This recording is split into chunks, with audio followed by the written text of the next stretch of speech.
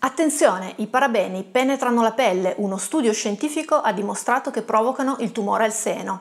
Quello che vi ho appena letto è il testo di un allarme che mi è comparso sulla bacheca Facebook qualche tempo fa. Ce ne sono decine, tutti simili, alcuni aggiungono la lista degli ingredienti da evitare, altri quella dei marchi da non comprare. Quando però ci troviamo di fronte ad allarmi di questo genere, la domanda che ci facciamo tutti è: sarà vero? Sarà vero che i parabeni sono cancerogeni? Dobbiamo preoccuparci? Ciao a tutti, io mi chiamo Beatrice Mautino, sono una biotecnologa e divulgatrice scientifica e in questi video vi racconto i cosmetici visti con gli occhi della scienza. Da qualche anno è in atto un vero e proprio processo ai parabeni. Se provate a cercare su Google o su YouTube informazioni su queste molecole, venite sommersi da articoli e da video che li accusano delle peggiori nefandezze. Nel frattempo, sugli scaffali dei supermercati e delle profumerie, i prodotti senza parabeni spopolano. Li avrete sicuramente visti e magari qualcuno l'avete anche comprato. Cerchiamo di fare un po' di chiarezza usando le informazioni scientifiche attualmente a disposizione. Chimicamente parlando, i parabeni sono molecole che derivano dall'acido para-idrossibenzoico e hanno un'attività antimicrobica Evitano cioè che le creme, gli shampoo, tutti gli altri cosmetici che noi abbandoniamo nell'armadietto del bagno siano colonizzati da batteri e da muffe che possono farci del male. Sono stati scoperti negli anni 20 e per più di 70 anni li abbiamo utilizzati senza farci nessun problema. A partire dal 2004 però le cose per loro hanno iniziato a mettersi molto male. In quell'anno infatti è stato pubblicato uno studio eh, dal titolo Concentrazione di parabeni nei tumori alla mammella a cura di un gruppo di ricercatori dell'Università di Reading nel Regno Unito guidato da Filippa D'Arbre, un nome che vedrete citare spessissimo quando si parla di parabeni. L'ipotesi alla base dello studio era questa. Si sapeva da tempo che i parabeni hanno un'azione simile a quella degli estrogeni, i cosiddetti ormoni femminili, che sono prodotti dal nostro organismo e che sono coinvolti nello sviluppo del tumore al seno.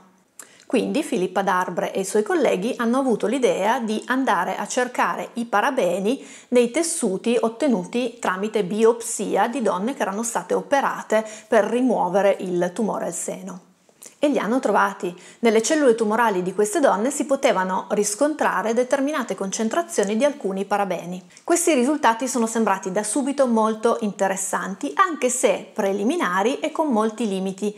L'hanno ammesso gli stessi autori dello studio, l'hanno scritto nelle conclusioni, hanno detto serviranno altri studi. Per esempio il numero di campioni analizzati nello studio era molto basso, ma soprattutto mancava quello che gli scienziati chiamano campione di controllo, cioè la stessa analisi ma effettuata su su tessuti di donne sane. Perché questo? Per vedere le differenze. Se per esempio si scoprisse che i parabeni sono presenti omogeneamente nelle donne sane e nelle donne malate, la tesi dell'accusa sarebbe un po' più debole. Quindi siamo di fronte a un'ipotesi scientifica come tante che si fanno nella scienza e quello che succede alle ipotesi scientifiche è di essere messe alla prova, sempre.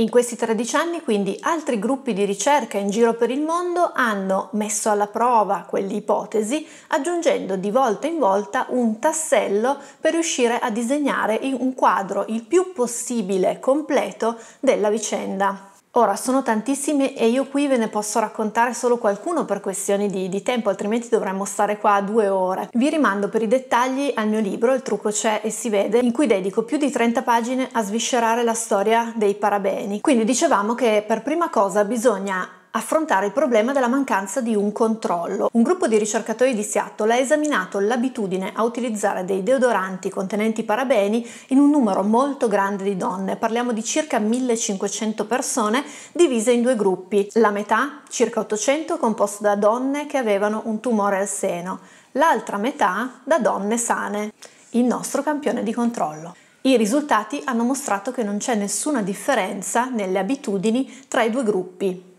In entrambi i gruppi le percentuali di donne che usavano o che non usavano i deodoranti erano paragonabili.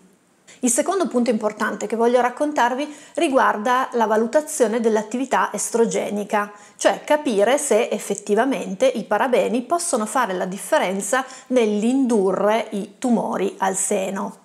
Robert Golden, un ricercatore dell'Università del Wisconsin, nel 2005 ha confrontato l'attività dei parabeni con quella dell'estrogeno per eccellenza, l'estradiolo. Le conclusioni dello studio di Golden sono abbastanza lapidarie. Pensate che i parabeni hanno un'attività di 10.000 volte inferiore a quella dell'estradiolo, ma non solo, è molto inferiore anche a quella dei fitoestrogeni, cioè quelle molecole simili agli estrogeni presenti in alimenti come per esempio la soia oppure negli integratori che vengono consigliati alle donne in menopausa. L'ultimo tassello è stato messo nel 2008, quando l'Università di Nizza ha analizzato tutti gli studi pubblicati fino ad allora sul tema, concludendo che non è stata pubblicata alcuna prova a supporto dell'ipotesi che i parabeni siano collegati ai tumori al seno.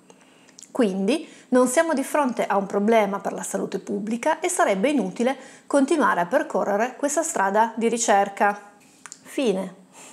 Tanto che gli organismi regolatori statunitensi ed europei dichiarano i parabeni sicuri e ne indicano le dosi massime di utilizzo e i tipi di parabeni che possono essere utilizzati nelle formulazioni. Nel frattempo però il messaggio che i parabeni fanno male è passato.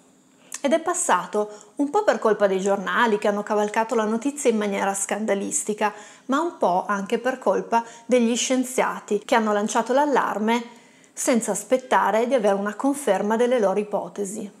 Pensate che Filippa D'Arbre, dopo pochi giorni dalla pubblicazione del suo studio, dichiarava ad una rivista inglese che lei aveva smesso di utilizzare i deodoranti e consigliava alle lettrici di fare lo stesso. Capite che di fronte ad affermazioni di questo tipo, fatte per di più da una scienziata, sia difficile da consumatori essere fermi, razionali, analizzare tutta la letteratura scientifica. Ci crediamo, è un meccanismo normale che ci portiamo dietro dai nostri antenati e che ci ha permesso di sopravvivere a situazioni di pericolo per migliaia e migliaia di anni. Quindi noi di fronte al dubbio preferiamo non correre il rischio, preferiamo il prodotto senza parabene e le aziende ci vengono incontro facendoci trovare sugli scaffali dei prodotti che soddisfano le nostre richieste. Nel farlo però commettono un'infrazione. Per la Commissione europea infatti un cosmetico non può vantare sulla confezione l'assenza di un ingrediente autorizzato. Questa regola c'è per un motivo, indicare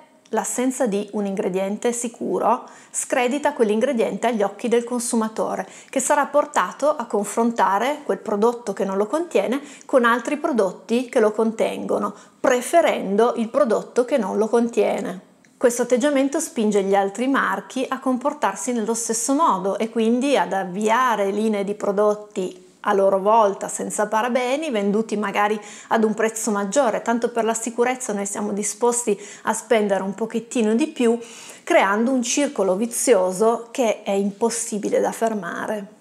Per questo motivo io credo che sia molto importante che queste derive vengano frenate sul nascere. Uno scienziato serio dovrebbe essere consapevole dei limiti della propria ricerca e divulgare solo quello che i dati raccolti gli permettono di affermare con assoluta certezza, soprattutto quando si parla di salute.